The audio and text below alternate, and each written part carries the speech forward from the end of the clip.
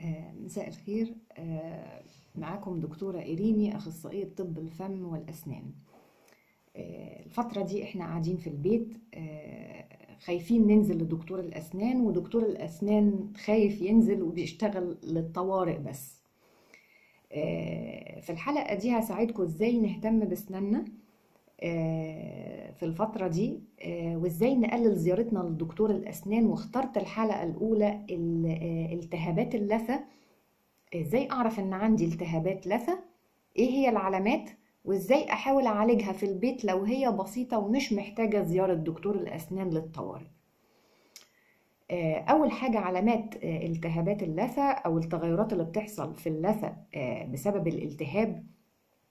أول حاجة آه، ممكن آه، مش لازم كلهم بس ممكن يكون بعض منهم أنا بحس بيه. أول حاجة بيبقى فيه نزيف آه، في في اللثة آه، أثناء ما أنا بدعك سناني أو بفرشها بيبقى فيه نزيف أو دم بينزل. لو لمستها أو خبطتها خبطة صغيرة بتنزل دم وأثناء في حالات بتبقى أصعب من كده إن ممكن لما أنام أصحى الصبح على المخدة ألاقي نقط دم. ممكن ألاقي اللثة آه، ورمة متورمة آم، فيها إديمة محوشة مية تبقى عاملة زي البالونة منفوخة آه، بتلمع مشدودة وبتلمع زي البالونة. آم، ممكن ألاقيها آه، المفروض اللثة الطبيعية بتبقى لونها بينك بينك خفيف روز لا ممكن ألاقيها حمراء ممكن ألاقي لونها أحمر وألاقي الفستونز اللي بين الأسنان ألاقيها زي خط أحمر جامد. آه، ممكن ألاقي آه، آه، آه، ريحة مش حلوة في أسناني أو في بقي ألاقي ريحة مش مش زي مش الطبيعية في تغيير في الريحة. حاجات كتير بتدل على عندي التهابات في اللثة. طيب آه، آه، عرفت العلامات وعرفت إن أنا عندي التهاب في اللثة. أسبابه أسباب التهابات اللثة كتير. ممكن تكون أسباب عضوية في جسمي. أنا بشتكي من حاجات عضوية آه، بتعمل التهابات في اللثة. ممكن يكون باخد أدوية معينة بتعمل التهابات في اللثة. ممكن يكون في فترة الحمل والرضاعة والكلام ده بيعمل برضو التهابات في اللثة مع بعض السيدات. إحنا هنتكلم على النهارده آه، آه، لو السبب موضعي يعني السبب في بقي أنا سبب إن أنا بهمل مثلا في في نظافة أسناني بهمل في الفلوسنج بهمل في استخدام المضمضة من فتره على فترات آه، فبيحصل التهاب في اللثة. طيب إزاي أحاول أعالج التهاب اللثة في البيت؟ لو أنا مش هقدر في الفترة دي أروح لدكتور الأسنان أو دكتور الأسنان مش قادر يستقبل غير حالات الطوارئ. أول حاجة ههتم بإني أدعك سناني كويس قوي. الفرشة آه، هدعك سناني بالنسبة لالتهابات الل- اللثة. أنا بفضل مرتين في اليوم. معلش عندنا التهاب في اللثة هن هنفرش ثلاث مرات في اليوم. ثلاث مرات في اليوم وأهم حاجة قبل النوم. الفرشة فرشة medium مش لازم تكون فرشة غالية ولا فرشة من من الحاجات الغالية قوي لأ. فرشة أنا بكلم كل طبقات ال- ال- الناس. يبقى نستخدم أي فرشة. الفرشة اللي بجنيه أو باتنين جنيه ممكن أستخدمها. المهم تكون فرشة medium وسط للحالات الطبيعية لا hard لا الناشفة ولا ال soft الطرية. هنستخدم فرشة medium عادية جدا. معجون أي نوع معجون أنت بتفضله مفيش مشكلة خالص. لأن أنا يهمني ال- الحركة الميكانيكية. تنظيف بنظف يهمني أكتر الحركة الميكانيكية. افرش الاسنان اللي فوق من فوق لتحت كأني بفرشها كده كأني بسرح اللثة. من تحت السنان اللي تحت من تحت لفوق. السطح الطاحن ممكن أعمله كده عادي مفيش مشكلة.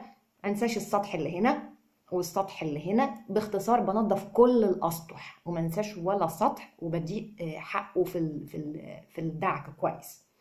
مش بعنف بس بديله حقه. بنضف سناني وبعديها ممكن أعمل ال flossing آه، أو ال flossing يستحسن قبل التفريش كمان. قبل ما أفر... ما أعمل في سناني بالفرشة أكون بعمل ال flossing الأول. flossing بجيب ال floss أو الخيط الطبي. بعمل بين سناني كلها بالفلوس وما انساش ولا سنة وأعمل باهتمام وآخد وقتي. بعد كده بدعك سناني بالطريقة اللي إحنا قلناها. بعد كده لو عندي مضمضة ضروري آه، لو ما عنديش مضمضة أشتري مضمضة في الفترة دي. عندي التهاب لثة أنا لازم أنزل الصيدلية أشتري مضمضة. أنهي مضمضة؟ هشتري مضمضة طبية من الصيدلية. آه، آه، آه، أقول للصيدلي أنا عايزة مضمضة فيها مادة ال chlorhexidine chlorhexidine ده فعال جدا في التهابات اللثة. موجود في مصر الحاجات ال commercial اللي هي الحاجات ال- ال- اللي موجودة في الصيدلية الأسامي التجارية زي ال Hexitol وال Antiseptol هستخدمها ثلاث مرات في اليوم. حاجة تانية فعالة جدا في التهاب اللثة آه، آه، مضمضة بمية دافية وملح. هجيب كوباية مية نص كوباية مية آه، دافية مش سخنة ومش باردة فترة دافية. وهحط نص آه، آه، آه، معلقة ملح ناعم وهقلب كويس جدا وهمضمض بيها ثلاث لأربع مرات في اليوم مفيش مشكلة المية مش مش مية وملح مش هتضر لو كترت عن ثلاث مرات مش مشكلة طالما مش حاطة الملح باعتدال. همضمض بيها آه، وأدي حقي للمضمضة مش أمضمض تك تك وأقوم تفة لا هنسيب المضمضة وقت طويل وقت على قد ما أقدر أستحمل وقت كويس تاخد حقها. بمضمض كويس وتف وبالنسبة للمضمضة اللي هشتريها من الصيدلية ممكن أخففها حاجة بسيطة لو أنا بتعب أو مش بقدر أستحمل الطعم الجامد بتاع المضمضة. وبرضه هدي وقتها وهديها حقها في المضمضة. لو أنا حاسس إن التهاب اللثة عندي شديد شوية ممكن أطلب من الصيدلية أشتري آه، آه، مضادات الالتهاب من الصيدلية. أنزل الصيدلية أقول له عايزة مضاد التهاب مثلا زي الفولتارين. آه، آخد أقراص الفولتارين ممكن ممكن أستعين بفلاجيل كمان. الناس اللي ما عندها أنا بتكلم على بنصح طالما دخلنا في كبسولات أو أو أو تابلت أو يعني أقراص يبقى أنا بكلم الناس ال- ال- اللي صحتها سليمة الناس العادية خالص الناس اللي ما بتستخدمش أي أدوية تانية أو يحصل أي تفاعلات أو أي حاجة. أنا واحد صحتي سليمة بنزل ممكن أطلب الفنترن. ممكن أطلب معاه فلاجيل فلاجيل 300 تركيزه 300 وباخده ثلاث مرات في اليوم يعني كل 8 ساعات. لو أنا ما عنديش مشاكل في الهضم أو في الجهاز الهضمي أو في آه، مشاكل في المعدة لأن الفلاجيل شوية ممكن يعمل مع بعض الناس شوية مشاكل في الم... الته... بيعمل شوية مشاكل في المعدة. يعني مش كل الناس بتستحمله لكن هو أصلا الفلاجيل برضو ما نستغربش إن أنا بنصح بالفلاجيل في الأسنان. الفلاجيل بيستخدم آه لعلاج مشاكل المعوية وال... والنزلة المعوية وال... والحاجات دي. زي ما أقول لك أنا باكل أكلة شاكك فيها ولا خايف منها آخد فلاجيل. آه بنستخدمه برضو للأسنان.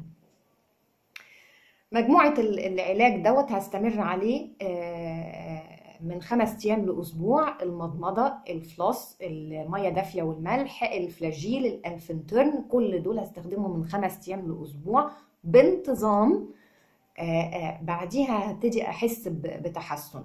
طبعا لو ما حسيتش بتحسن هيبقى محتاج أروح لدكتور الأسنان طبعا.